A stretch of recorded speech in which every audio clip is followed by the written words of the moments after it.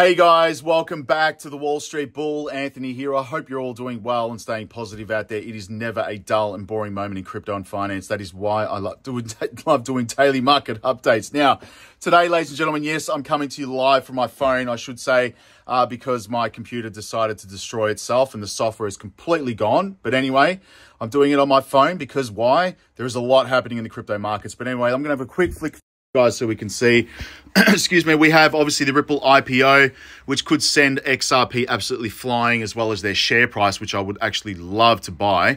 Uh, an updated xrp rich list right here. We have pro xrp lawyer tips and outright sec victory which is really nice as well. You've got xlm iota and xrp eyeing off a swift integration right here. Everyone's favorite jamie dimon talking about a fed rate hike pause incoming, which is going to be interesting as well. Terra Classic shooting up 30% on the day. Russian bank launches new cross-border payments uh, system right here, which is interesting. Do Kwon is actually out on bail, which is in, you know, interesting as well to see what he's going to do. And Credit Suisse, one a company that uh, I'm actually invested in on uh, Wall Street, which is really interesting as well. And I'm going to get into that because it's just got integrated with Polygon Matic. Bullish. Now, anyway, guys, let's get into the video. And again, massive shout out and thank you to every single one of you who have subscribed to the channel.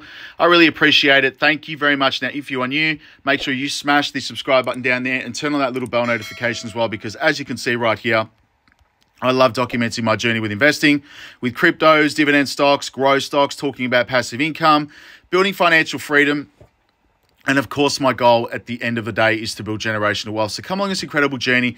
Things are about to get wild in this space. Also, if you can give this video a thumbs up, watch it straight through would really help me push this channel out to a lot more people because the YouTube algorithm is absolute magic when you find, ladies and gentlemen, do that right. So give it a good old thumbs up. Doesn't cost you anything. It's down there. Thank you very much. You guys absolutely rock. Also, little disclaimer. I am not a financial advisor. Please do your own research and due diligence with this stuff. I do not want to see anyone get financially hurt. That is why my number one golden rule is I only invest what I can afford to lose. And yes, we don't like to lose. You can lose money like that in the blink of an eye in crypto. So please be careful out there. Do your own research and due diligence. This video is for educational and entertainment purposes only. Right, ladies and gentlemen, the formalities are out of the way. And yes, I'm going to go straight to the community tab. And I'm sorry everyone's going to have a sore neck by the uh, end of this. But anyway, obviously, altcoins up in my portfolio. We had Lunk, Luna Classic, Meta Hero, which is interesting as well, Sandbox, Mana, and Luna.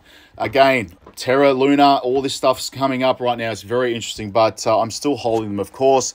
Now, uh, let's go to CoinSpot. This is where I buy my cryptos in Australia, ladies and gentlemen, as well as OKX.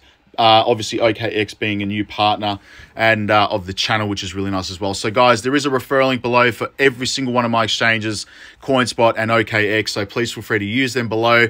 Now, again, all the prices you see here are in Australian dollars, and everything else is set to US dollars because I'm catering for everybody around the world and my Aussie fans. Now, Bitcoin sitting at 41,000 today, ETH at 2,916. You've got XRP at 83 cents, moving to up 2% today, which is really nice. Solana's at $33. Matic, very bullish Matic, $1.38. Tron's at 12 cents as well. Dot uh, $8.26, which is really good. You've got Chainlink at $9. Scrolling down, you've got Hedera at 7 cents, which is really nice. VeChain at 3 cents. Quant 179 down 2.27% today. Uh, we've got Algorand at 23 cents as well. Very, very nice. Axie's up 2% to $11.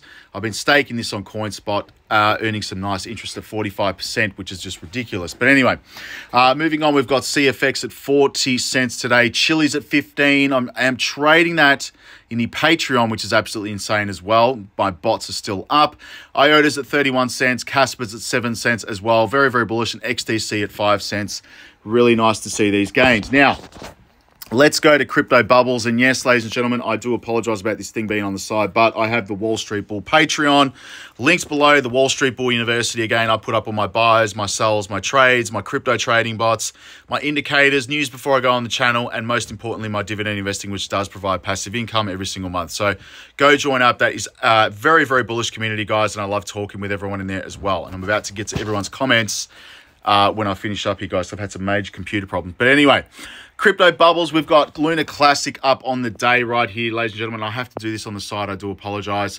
Uh, you can see right here, it's up 7.9% on the day, 10.3 on the week, 19.5 on the year, which again, I've been holding this for a long time since the collapse, but we'll see where this goes. Sandbox.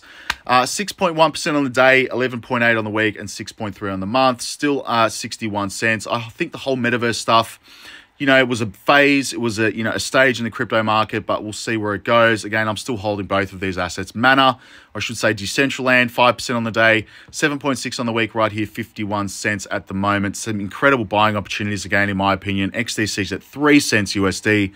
Very, very nice. XLM is at 9 cents, again, bullish. We have Algo at 1.8% as well, still at 14 cents again. Very, very nice. And uh, XRP, this thing right here, right on the left hand side, 1.5 on the day, still up 10.8 on the week.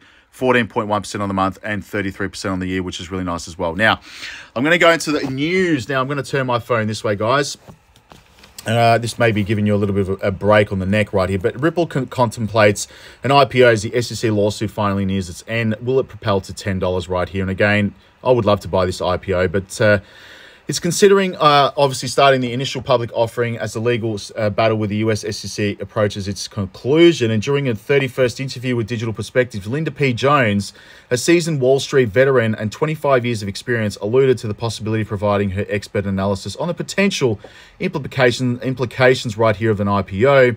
Jones perform, uh, performed an initial assessment on the approximate potential stock value of Ripple.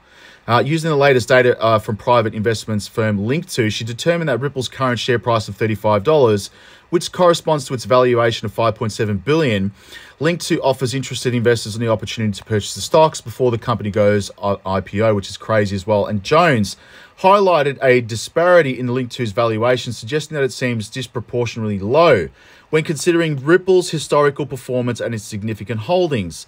Drawing attention to Ripple's extensive XRP reserves, Jones emphasized that the 42 billion XRP tokens held in escrow are currently valued at 21 billion.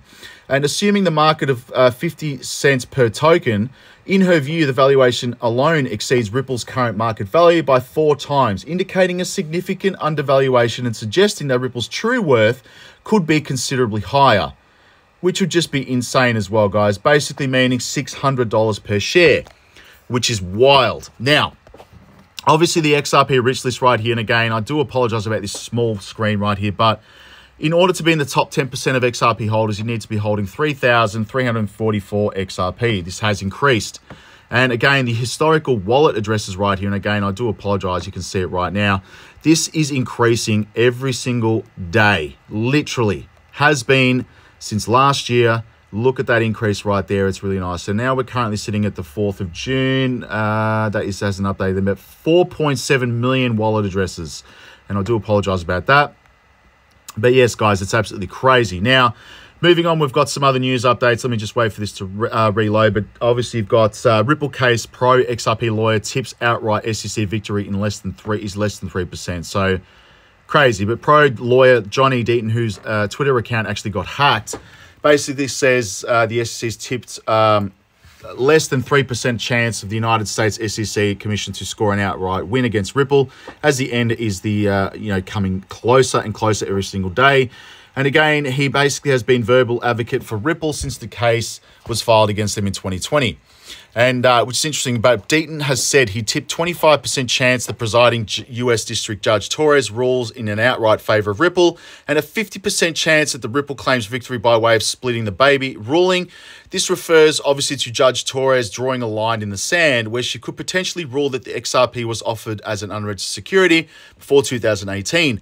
However, in the wake of the Hinman documents, which refer to internal SEC messages uh, by, you know, Mr. Hinman, it is possible that cryptocurrencies can tra- transition from securities to commodities once they become sufficiently decentralized. So I would love to see the, uh, SEC absolutely lose, and who wouldn't? Now, crypto giants, XRP, Stellar, and XLM, and IOTA right here, and I should say uh, Ripple, Stellar, and IOTA, of course, uh, with Swift integration, which would be crazy for a billion dollar crypto market. And crypto heavyweights, Ripple, Stellar, and IOTA are making technological advancements and ensuring regulatory compliance in an effort to achieve Swift integration, which is interest- interesting in, in its own, guys. It really is. But the revolutionary projects seek to champion crypto adoption by integrating traditional financial systems with the new financial system leveraging blockchain chain technology.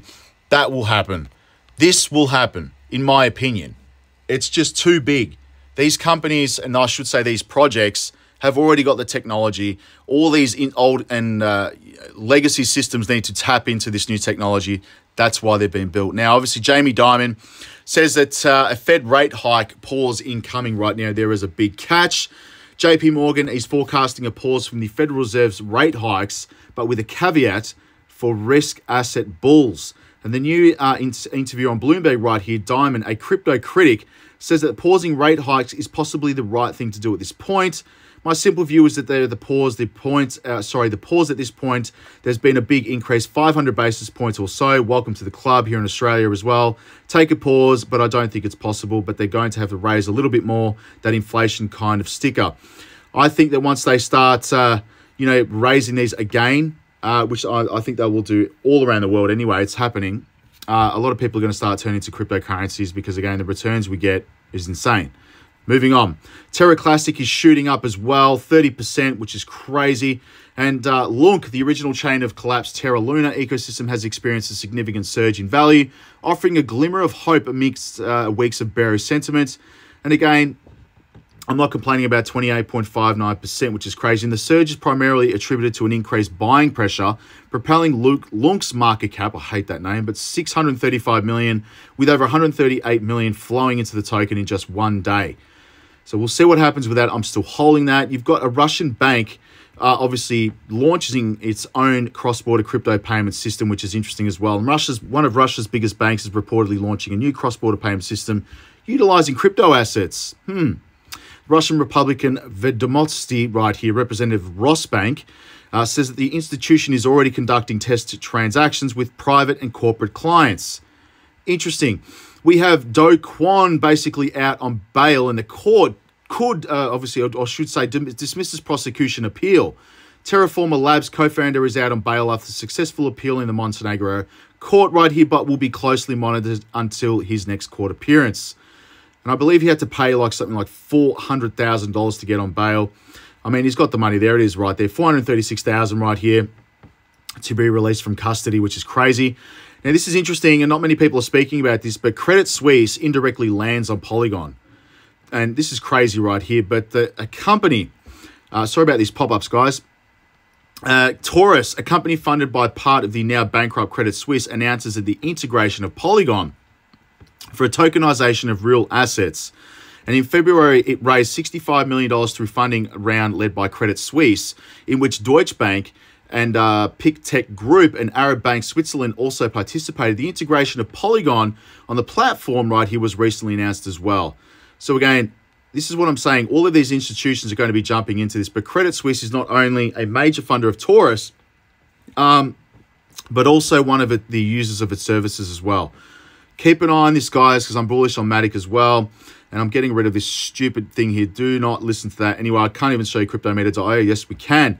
Money flowing into XRP, Bitcoin, Solana, Litecoin. Uh, what else we got here, guys? Uh, EDU, Lena. I don't know what these are, and I don't really care. FXS, City. Anyway, that they're basically just rubbish. Let's go to Twitter and have a quick look at this, guys. Yes, I'm at the Wall Street Bull Oz. Make sure you go follow me on the air. Thank you very much to those 4,643 people. You guys absolutely rock. I am giving this bull ring away when I hit 100,000 subs on YouTube. Jim Cramer says it's over for Bitcoin, which is hilarious. Plan B, legend, still in early bull market stage. Crazy. This is why I'm loving it. Slowly dollar cost averaging. Yes, Johnny Deaton should have his uh, Twitter page back as well. And the MUFG Bank, Japan's largest bank working in over 50 countries, in 2018 has signed an MOU with Banco Bradesco right here, SA, second largest bank in Brazil, to develop cross border payments between Japan and Brazil utilizing Ripple's technology. It's right in front of us right here. And again, there's an interesting thing here in terms of a Supreme Court recent verdict. Slack versus Pirani. Pirani uh, may revolutionize the game for XRP in the secondary market. It strongly reaffirms that security does not retain its status outside the initial investment contract. This is potentially redefines XRP standing as a security, a game changer for crypto and blockchain. Very, very nice. So thank you for that tweet. Beautiful stuff here on the XRP ledger. Uh, in this issue, Tether announces a sustainable Bitcoin mining project in Uruguay. Again, a lot of people are mining Bitcoin. Yes, right here, Johnny Deaton tweeting from my daughter's account. I still do have access to my Twitter account. Twitter informed me that the account can take one to three days. Elon Musk, this must be fixed. of course. Uh, Fed Now and ACI plus Ripple. And again, look at this, guys, as you can see right here. ACI supports around 9% of global SWIFT traffic, and approximately 30% of US ACI offers services to banks around the world wanting to connect and leverage the SWIFT Global Payments Initiative. ACI also supports real time schemes around the world, meaning that any bank can use real time payment systems to support SWIFT, FIN, SIN, right, I should say FIN, DLT, EG, Ripple, wire, and immediate payments bullish. And right here, Capital Firm expects $15,296 Bitcoin, I should say XRP. So it's been a long day. If that happens, forget it. It's going to be wild. Thank you, Fabio, as well. By the way, that meetup was awesome on um, uh, Saturday. It was incredible. Buckle up, folks. Rumors swirl around Ripple's IPO projected to be a drop dropping 20x uh, valuation surge which I just mentioned before as well. And we'll end up on this, guys. The US Supreme Court just came out last week. Uh, this case, it analogs right here to XRP in the secondary market if or slash where the XRP was sold as an investment contract. XRP doesn't magically maintain status as a sec- security outside the context of an initial contract. Unbelievable, guys. Anyway, let's go to quickly coin market cap. And we're going to end up on this, guys, and I can't turn my phone, I apologize. 1.1 trillion right here, $26 billion in volume. And of course, we've got 45% BTC, 19.85% Ethereum. This is my list I post up every single morning in the Patreon. Make sure you join up, it's linked below. And if I go to the banking coins, guys, this is where my money is going. It's not financial advice, uh, but this is where the money, real money is going for banks and institutions right here. No brainer. Anyway, guys, that is it. And I do apologize about uh, everything, obviously, the, you know, being on the phone, I do. Uh, it's just been a freaking nightmare. But thank you very much. Make sure you join the Patreon as well, guys. I'm putting some updates in there tonight. Follow me on socials, and I'll speak to everyone tomorrow. All right, guys. Maybe my computer will be working by then. All right. Peace out. Bye.